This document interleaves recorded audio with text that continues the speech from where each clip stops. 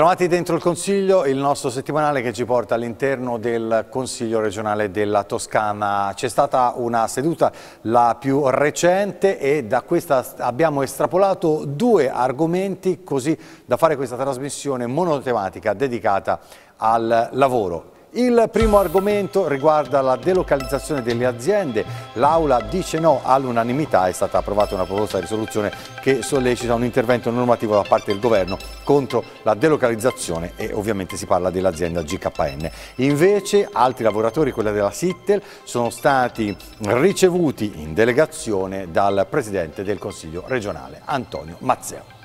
Il primo argomento, eh, come abbiamo detto, si parla anche della GKN. L'Aula si è espressa con un sì unanime sulla proposta di risoluzione sottoscritta da tutti i gruppi consigliari che impegna quindi la Giunta regionale a attivarsi con il Governo per un intervento normativo contro le delocalizzazioni delle aziende. Sono i tre punti fondamentali dell'atto che è stato presentato in aula dalla Presidente della Commissione Sviluppo Economico Ilaria Bugetti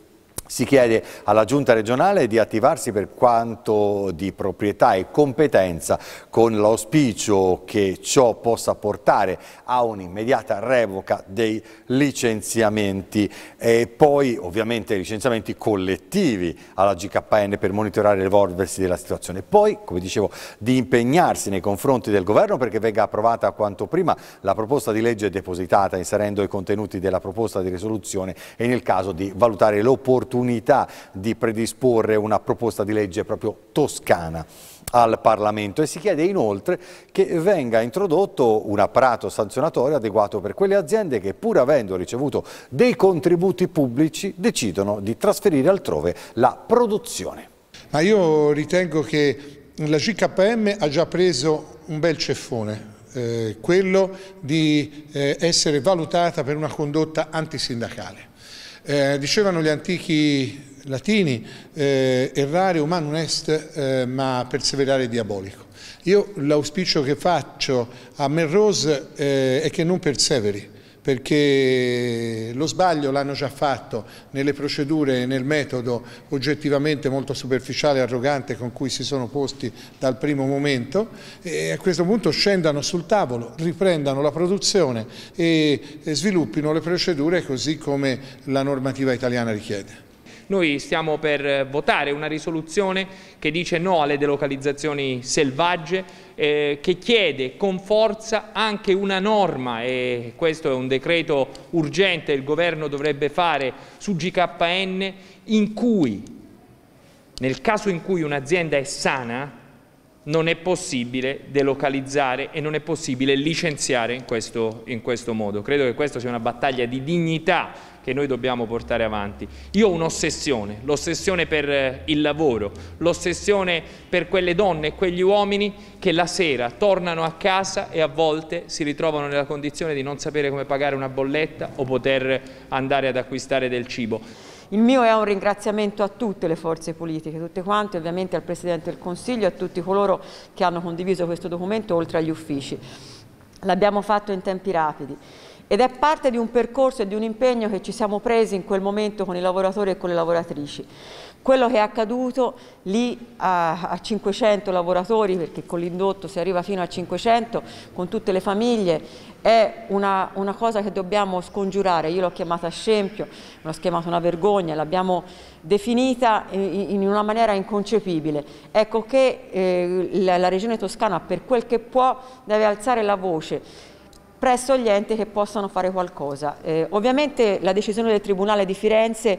ci ha aiutati a prendere tempo e, e qui ringrazio la FIOM per, per, per, il loro lavoro e per il loro impegno. Noi oggi abbiamo chiesto l'auspicio che vengano revocati immediatamente i licenziamenti. Abbiamo chiesto che il la proposta di legge che è già stata depositata in Parlamento avvii il suo iter velocemente e anche in maniera efficace, quindi con delle proposte serie per quanto riguarda le delocalizzazioni e qualora non ci fosse una spinta veloce da parte eh, di questo iter, di questa legge presentata dal Ministro Orlando, abbiamo addirittura impegnato la Giunta affinché sia lo stesso Consiglio regionale a fare una proposta di legge al Parlamento. Nel documento abbiamo ripreso i punti che ci vennero consegnati dagli stessi lavoratori in quella mattina. ecco che diventa un atto che vuol condannare un sistema selvaggio che vede la speculazione finanziaria e non rispetta un modello di lavoro dignitoso. Noi dobbiamo sicuramente interrogarci sul modello di sviluppo che vogliamo e vogliamo farlo mettendo al centro la dignità dei lavoratori, ma lo facciamo anche nel rispetto di quelle imprese, di quegli imprenditori e anche di quei di quelle multinazionali che invece si sono sempre comportate correttamente. Il nostro obiettivo è la correttezza, la legalità e l'etica del lavoro. La Regione deve dare un segnale forte in questa direzione. Eh, ci siamo uniti tutte quante le forze politiche mandando un messaggio molto chiaro.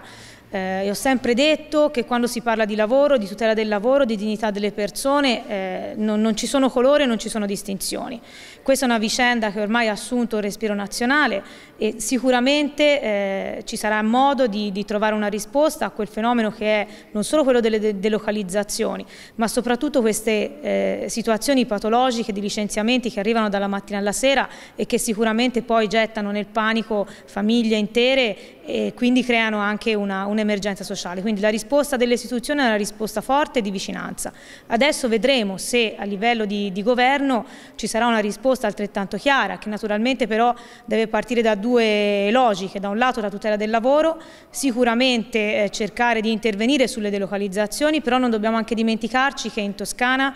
anche le multinazionali, oltre alle tante imprese, alle tante attività artigianali, alle piccole ditte che costituiscono l'ossatura del nostro sistema economico, ecco, questo rappresenta un sistema virtuoso che dà posti di lavoro. Quindi noi eh, sosteniamo questa battaglia, però diciamo anche no a quelle logiche punitive che vedono talvolta eh, diciamo, le imprese sul banco degli imputati, quando invece ci sono tante ottime imprese che danno lavoro nel nostro, nella nostra regione e che meritano altrettanto di essere sostenute. Abbiamo eh, criticato e condannato ogni passaggio sulla vicenda GKN come doveva essere e unanimemente con tutte le forze politiche abbiamo operato alla realizzazione di questa eh, risoluzione. E questa risoluzione che si indirizza chiaramente a voler essere partecipi col governo nella soluzione insomma, di un provvedimento che serva a evitare casi come quelli del GKN, noi sottolineiamo due aspetti fondamentali. Il primo e che si possa creare veramente un dibattito che non c'è stato né in quest'Aula né fuori da quest'Aula su ciò che è successo sulla GKN per domandarsi come in una società di mercato si possa veramente tutelare l'economia nazionale, la produzione nazionale e il ruolo dei lavoratori in questo momento importantissimo che è tutta diciamo, la narrazione dell'Italia dell post pandemia.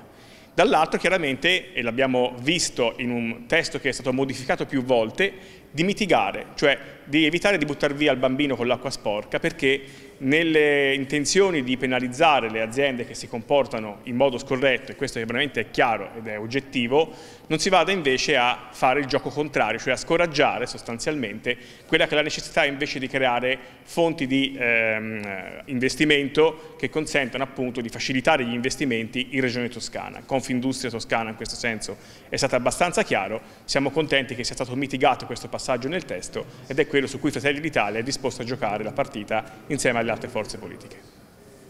Il significato è quello di aver ascoltato i lavoratori eh, perché hanno le idee molto chiare, spesso anche più chiare della stessa politica,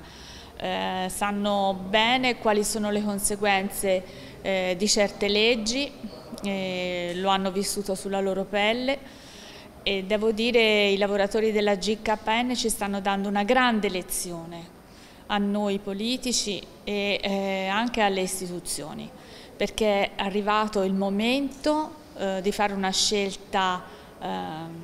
forte a favore delle nostre imprese, ma veramente del tessuto produttivo del territorio, che non vuol dire sempre favorire e aprire le porte alle multinazionali, vuol dire favorire le imprese che veramente eh, incentivano la crescita economica del territorio. I lavoratori GKN,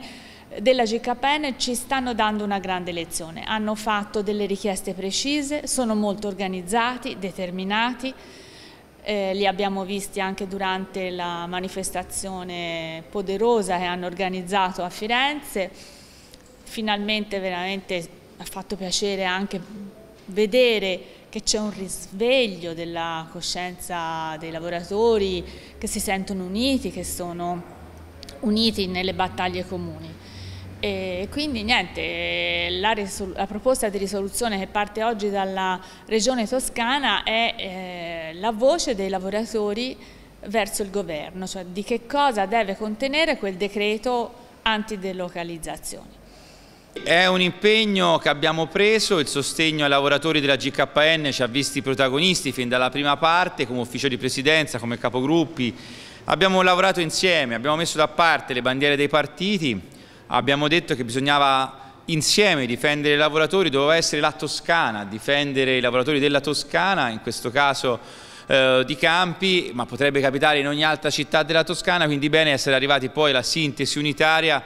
che accompagna quella che è una sentenza del giudice ma non è sufficiente. Noi vogliamo che sia la politica e quindi il governo ad assumersi una responsabilità importante a tutela dei lavoratori. E mentre si stava riunendo l'Aula e stavano approvando appunto come abbiamo sentito la risoluzione, il Presidente del Consiglio regionale Antonio Mazzeo ha incontrato una delegazione sindacale dei lavoratori della Sittel che hanno manifestato a Firenze per chiedere il pagamento degli stipendi di novembre e dicembre 2020, del 30% di aprile e del mese di maggio 2021. Ai rappresentanti di Grosseto, Firenze e San Miniato il Presidente Mazzeo ha assicurato il massimo impegno anche attraverso una lettera al Ministero del Lavoro e delle Politiche Sociali, Andrea Orlando. Ascoltiamo anche come è andato questo incontro con il Presidente Mazzeo. È sempre una bella giornata quando c'è una notizia positiva. Eh, io penso che la politica, le istituzioni tutte debbano essere a fianco dei lavoratori sempre.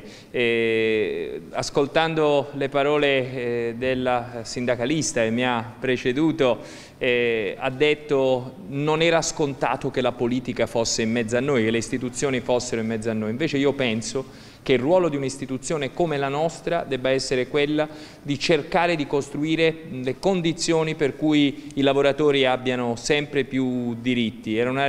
questa è stata una vertenza difficilissima, difficilissima perché non era scontato il risultato, ma noi ce l'abbiamo messa tutti e ce l'abbiamo fatta solo tutti insieme, i lavoratori, le lavoratrici, i sindacati, le istituzioni regionali, le istituzioni locali. Io sono contento oggi di suggellare questo momento perché è il segno che una comunità, l'intera comunità toscana, può combattere altre battaglie difficili, penso a quella della GKN, solo se si tiene tutta per mano, solo se si tiene tutti insieme, tutto il Consiglio regionale sia insieme e questa è la nostra forza. Non dividiamoci mai secondo logiche politiche nazionali, ma poniamo al centro sempre i cittadini, le persone, il lavoro. Questa è la sfida che ci attende, eh, la Sittel è un risultato positivo ma non abbassiamo la guardia perché ce ne sono tantissime altre vertenze che richiedono la nostra vicinanza, il nostro sostegno e come dire, un lavoro di comunità tutti insieme.